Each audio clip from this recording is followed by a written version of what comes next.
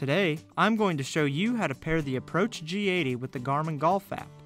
With the Approach G80 paired with the Garmin Golf app, you will be able to sync your scorecards. To do this, you will need your Approach G80 and your smartphone. For this video, we will be using an Apple iPhone, but the process is similar on an Android phone. First, you will need to download the Garmin Golf app. Begin by navigating to the App Store. Then, search for Garmin Golf. Find the Garmin Golf app and select Get to begin the download. Once the download is complete, launch the Garmin Golf app by selecting Open. Sign in with your Garmin account or create a new account to get started.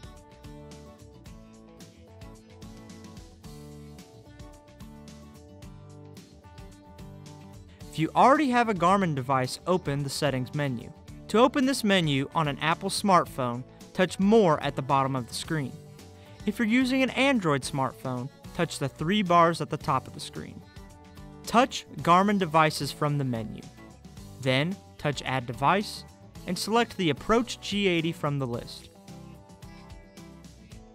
On your Approach G80, select the up arrow to open the menu. Select Settings and then Bluetooth. Tap Pair Mobile Device.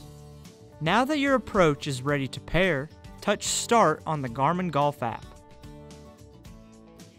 Follow the on-screen instructions on both your G80 and smartphone to finish pairing.